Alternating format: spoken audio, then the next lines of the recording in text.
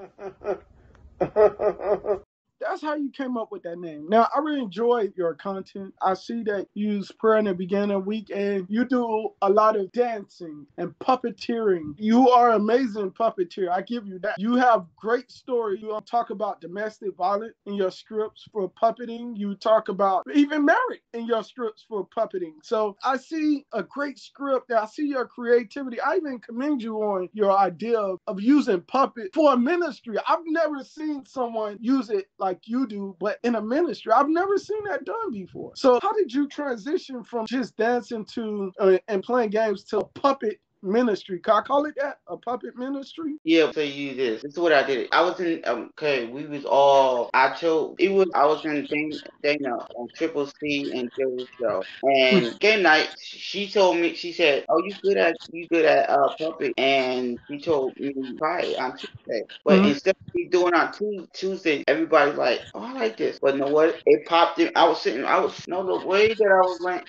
when I was sleeping, it popped in my head. So mm-hmm. I said, you know what? I'm gonna wake up that morning and use it. And that came up